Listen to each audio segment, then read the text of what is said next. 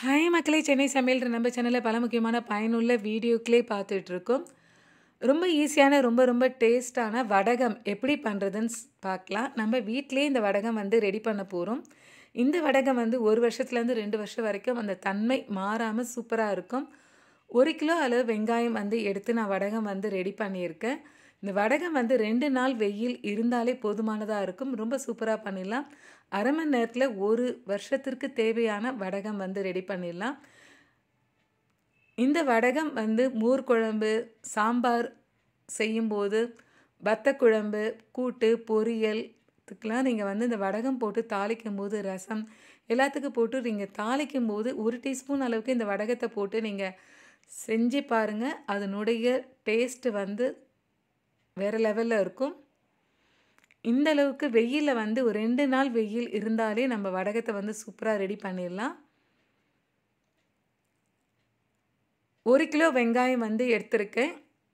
கருவேப்பிலை வந்து ஒரு மூணு கைப்பிடி அளவுக்கு கருவேப்பிலை வந்து நல்லா க்ளீன் பண்ணிவிட்டு வாஷ் பண்ணிவிட்டு நிழல்லே கொஞ்சம் காய வைங்க. ஒரு ட்ராப் தண்ணி கூட இருக்கக்கூடாது. வெங்காயமும் நல்லா பொடியாக கட் பண்ணி எடுத்துக்கோங்க. சாப்பர் இருந்தாலும் நீங்கள் யூஸ் பண்ணலாம். நான் வந்து சாப்பரில் யூஸ் பண்ணல. பொடியாக வந்து நைஃப்பில் தான் வச்சு கட் பண்ணி எடுத்திருக்கேன். ஒரு கிலோ வெங்காயம். இந்த அளவுக்கு கட் பண்ணி எடுத்திருக்கேன். பூண்டு வந்து ஒரு இரநூறு கிராம் அளவுக்கு தோலோடு எடுத்திருக்கேன். குண்டு காஞ்ச மிளகாய் சின்ன காஞ்ச மிளகாய் தான் ஒரு பத்து எடுத்திருக்கேன். கண்டிப்பாக வந்து பூண்டு வந்து நீங்கள் தோலோடு போடுங்க. கண்டிப்பாக ரொம்ப நல்லாயிருக்கும் ரசம் சாம்பார்லாம் தாளிக்கும் போது நீங்கள் பயன்படுத்தும் போது ரொம்ப சூப்பராக இருக்கும். காஷ்மீரி மிளகாய் வந்து ஒரு அஞ்சு அளவு அஞ்சு நம்பர் எடுத்திருக்கேன். அஞ்சு காஷ்மீரி மிளகாய் போதுமானதாக இருக்கும். ஏன்னா காஷ்மீரி மிளகாய் வந்து டேஸ்ட்டு தரக்கூடியது.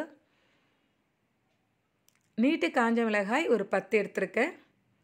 மிக்ஸி ஜாரில் ஒரு ட்ராப் தண்ணி கூட இருக்கக்கூடாது. உங்கள் கையிலையும் ஒரு ட்ராப் தண்ணி கூட இருக்கக்கூடாது. மிக்ஸி ஜாரில் வந்து ஒரு ரெண்டே ரெண்டு பல்ஸ் வச்சு நீங்கள் எடுத்துக்கோங்க.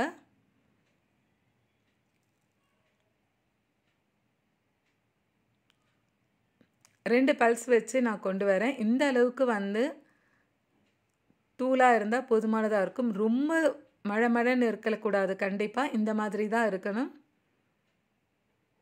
இப்போ வந்து பூண்டு எடுத்துக்கலாம். பூண்டு நம்ம தட்டி எடுத்தால் எப்படி எடுப்போமோ அந்த மாதிரி தான் நீங்கள் பூண்டு வந்து தட்டி எடுக்கிற அளவுக்கு இருக்கணும். இந்த மாதிரி தான் இருக்கணும். நிறைய மழை மழைன்னு அரைச்சிடாதீங்க. ஒரு மாதிரி எடுத்தோன்னா அப்படியே திப்பி திப்பியாக இருக்கா மாதிரி இருக்கணும். அப்படி தான் இருக்கணும் பூண்டு. நீங்கள் தட்டி எடுக்கும்போது. ஒரு அகலமான பாத்திரம் எடுத்திருக்கேன். அதில் ஒரு கிலோ வெங்காயம் கட் பண்ணிட வந்து சேர்த்துருக்கேன். பூண்டு வந்து ரெண்டே ரெண்டு பல்ஸை வச்சு எடுத்ததை வந்து சேர்த்துருக்கேன். மிளகாய் வந்து பொடி பண்ணதை வந்து சேர்த்துருக்கேன். சும்மா ஒரு ரெண்டு பல்ஸ் வச்சு எடுத்துக்கோங்க. நிறைய நீங்கள் அரைக்கவே கூடாது கண்டிப்பாக கருவேப்பிலை இந்த அளவுக்கு நான் சேர்த்துருக்கேன் அரைச்சி. கருவேப்பிலை தன்மை அந்த பசுமை தன்மை மாறாமல் கண்டிப்பாக இருக்கணும். ரெண்டு டீஸ்பூன் அளவுக்கு மஞ்சத்தூள் சேர்த்துக்கலாம். இது வீட்லேயே மஞ்சள் வாங்கி கறிமஞ்சள் வாங்கி அரைச்சது அது ஐம்பது கிராம் அளவுக்கு மிளகு வந்து சேர்த்துருக்கேன். ஐம்பது கிராம் அளவுக்கு முழு உளுந்து சேர்த்துக்கோங்க. கறிமஞ்சள் வந்து வீட்டில் வாங்கி நல்ல வெயிலில் நல்லா காய வச்சு மிஷினில் கொடுத்து அரைச்சி வச்சுக்கோங்க. உங்களுக்கு சமையலுக்கு தேவையான போதெல்லாம் பயன்படுத்தும் போது ரொம்ப நல்லாயிருக்கும். கடலை பருப்பு வந்து ஐம்பது கிராம் எடுத்திருக்கேன். இது ஐம்பது கிராம் மெஷர்மெண்ட் கப் இது. தூள் பெருங்காயம் ரெண்டு டீஸ்பூன் அளவுக்கு சேர்த்துக்கோங்க. ஏன்னா நம்ம கெட்டி பெருங்காயம் வந்து சேர்க்கும் போது எல்லாத்துலேயும் மிக்ஸ் பண்ண முடியாது. தூள் பெருங்காயம்னா நம்ம எல்லாத்துலேயும் வந்து நம்ம வடகத்தில் வந்து மிக்ஸ் ஆகும். அதுக்காக வந்து தூள் பெருங்காயம் சேர்த்துருக்கேன். ஐம்பது எம்எல் அளவுக்கு விளக்கெண்ணெய் கண்டிப்பாக சேர்த்துக்கோங்க.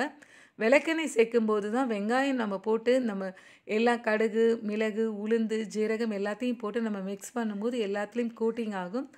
அந்த தன்மை மாறாமல் இருக்கிறதுக்காக தான் வந்து விளக்கெண்ணெய் வந்து சேர்க்குறோம். கல் உப்பு ஒரு மூணு டீஸ்பூன் அளவுக்கு சேர்த்துருக்கேன். கல் உப்பே நீங்கள் சேர்த்துக்கோங்க. தூள் உப்பு சேர்க்க வேண்டியதெல்லாம்.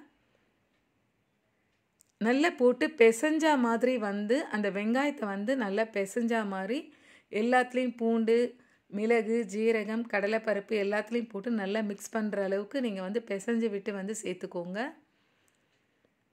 ஏன்னா அந்த எண்ணெயோடு நம்ம சேர்க்கும் போது எல்லாத்துலேயும் வந்து நம்ம போட்டிருக்க மசாலா வந்து நல்லா கூட்டிங் ஆகணும். அதுக்காக தான். கையை வச்சு நம்ம இந்த மாதிரி பிசையும் போது கெட்டிடுமாலாம் நீங்கள் யோசிக்காதீங்க. நம்ம நல்லா காய வச்சு தான் வடகம் வந்து எடுக்க போகிறோம் நல்லா மிக்ஸ் பண்ணிக்கோங்க.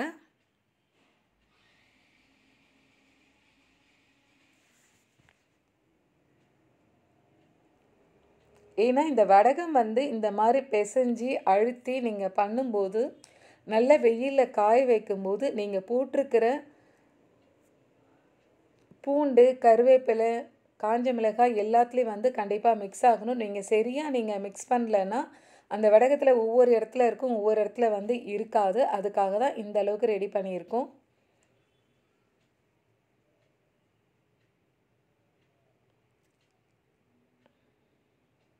நல்லா மிக்ஸ் பண்ணி விட்டுக்கோங்க.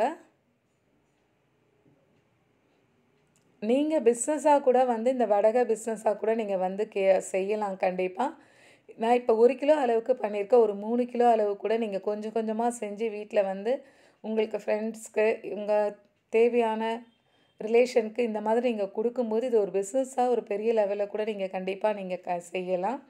நீங்கள் கண்டிப்பாக நீங்கள் ட்ரை பண்ணி பாருங்கள் ஒரு அரை கிலோ வெங்காயத்தில் நீங்கள் பண்ணி பாருங்கள் இந்த டேஸ்ட் உங்களுக்கு கண்டிப்பாக உங்களுக்கு பிடிச்சிருக்கும். நீங்கள் பெரிய லெவலில் நீங்கள் கண்டிப்பாக நீங்கள் செய்யுங்க. இப்போ நல்லா அமுக்கி விட்டுருக்கேன். எல்லாத்தையும் போட்டு மசாலா எல்லாத்தையும் நம்ம சேர்த்து நல்லா அமுக்கி விட்டுருக்கோம்.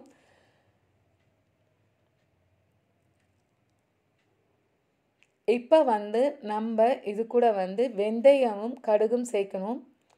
வெந்தயம் கடுகு சீரகம் இந்த மூணு சேர்க்க போகிறோம் வெந்தயம் வந்து ஒரு ஐம்பது கிராம் அளவுக்கு வந்து சேர்த்துக்கலாம்.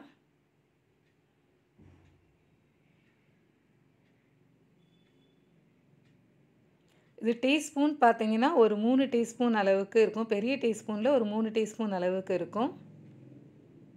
நல்லா மிக்ஸ் பண்ணி விட்டுக்கோங்க.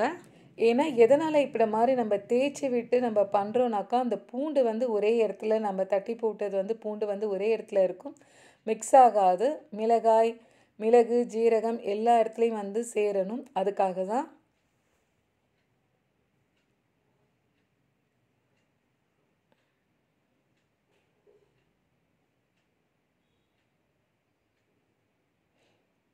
நல்லா ப்ரெஸ் பண்ணிவிட்டு நல்லா கலந்து விட்டுட்டு இந்த மாதிரி பண்ணுங்கள்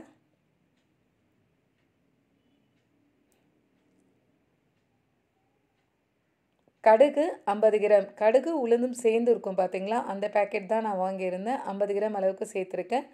ஜீரகம் வந்து ஐம்பது கிராம். ஆல்ரெடி நம்ம முழு உளுந்து சேர்த்துருக்கோம். கடுகோட அந்த உடச்ச உளுந்து வரும். அதோடு சேர்த்துருக்கேன் இப்போ.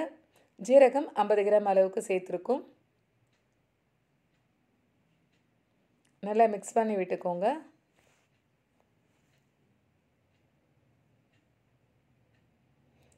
இந்த வடகம் செய்யறதுக்கு கண்டிப்பாக நமக்கு வந்து ஒரு டுவெண்ட்டி மினிட்ஸ் தான்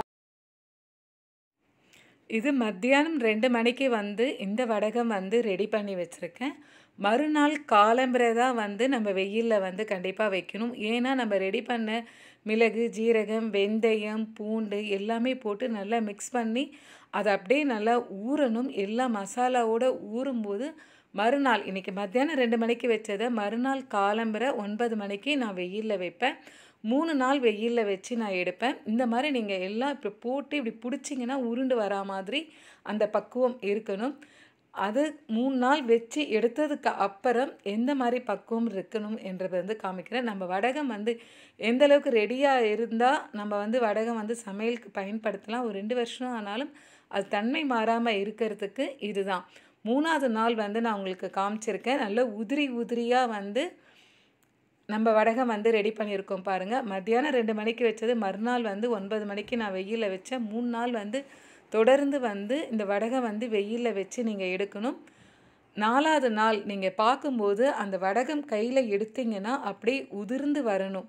ஒன்றோடு ஒன்று வந்து ஒட்டக்கூடாது. அந்த மாதிரி இருக்கணும். அப்போ தான் வந்து நீங்கள் தாளித்து எண்ணெய் ஊற்றி கடுகு உளுத்தம்பருப்பு போட்டு இந்த வடகத்தை வந்து ஒரே ஒரு டீஸ்பூன் போட்டு நீங்கள் வந்து கடுகு உளுத்தம்பருப்பு கூட போடணும்னு கூட அவசியம் இல்லை. இந்த எண்ணெய் காஞ்ச உடனே நீங்கள் இதை ஒரு டீஸ்பூன் போட்டு பொரிய விட்டு சாம்பார் ரசம் பருப்பு கீரை கூட்டு பொரியல் எல்லாத்துக்குமே மீன் குழம்பு எல்லாத்துக்குமே நீங்கள் இந்த வடகத்தை வந்து பயன்படுத்தலாம். இந்த அளவுக்கு ரெடியாக இருக்குது பாருங்கள் நம்ம கையில் எடு எடுத்து நம்ம கீழே போட்டோன்னா அப்படியே உதிரி உதிரியாக உதிர்ந்து வரணும். அதுதான் பக்குவம். நல்லா காஞ்சிருக்குன்னு அர்த்தம். ரெடி ஆயிடுச்சு நம்மளுடைய வடகம் சூப்பராக இந்த மாதிரி ரெடியாக இருக்குது ஃபஸ்ட்டு நம்ம ரெடி பண்ணும்போது ரொம்ப இதுவாக இருந்தது. இப்போ பாருங்கள் அப்படி உதிரி உதிரியாக இருக்குது ஏன்னா நீங்கள் எப்பவுமே வடகம் நல்லா மசாலா போட்டு நல்லா பிசைஞ்சு நான் நம்ம நம்ம சேனலில் ஆல்ரெடி போட்டிருப்பேன். நல்லா உதிர்த்து நல்லா போட்டு நல்லா பிசைஞ்சு ஏன்னா எல்லாத்துலேயும் மிக்ஸ் பண்ணி வைங்க. அதனால தான் எல்லாம் ஈவனாக வந்து நம்ம வடகம் வந்து நம்ம போட்ட எல்லா மசாலாவும் ஈவனாக வந்து ரெடியாக இருக்குது பாருங்கள் நல்லா உதிரி உதிரியாக நம்ம சூப்பராக ரெடி பண்ணி இருக்கும் வடகம். ஒரு வருஷத்துலேருந்து ரெண்டு வருஷம் வரைக்கும் இந்த வடகம் வந்து ரொம்ப நல்லாயிருக்கும் தன்மை மாறாமல் ரொம்ப டேஸ்டான ரொம்ப சூப்பரான ரொம்ப ரொம்ப ஈஸியான வடகம் வந்து ரெடி பண்ணியிருக்கோம். நீங்கள் சமையல் பண்ணும்போதெல்லாம் நம்ம வடகத்தை தாளிக்கிறதுக்கு பயன்படுத்தும் போது ருசியும் மனமும் ரொம்ப நிறைந்ததாக இருக்கும். நம்ம சேனலை பார்த்ததுக்கு மிக்க நன்றி. நம்ம சேனலை ஷேர் பண்ணுங்கள் லைக் பண்ணுங்கள் சப்ஸ்கிரைப் பண்ணுங்கள் தேங்க்யூ வாழ்க வளமுடன்.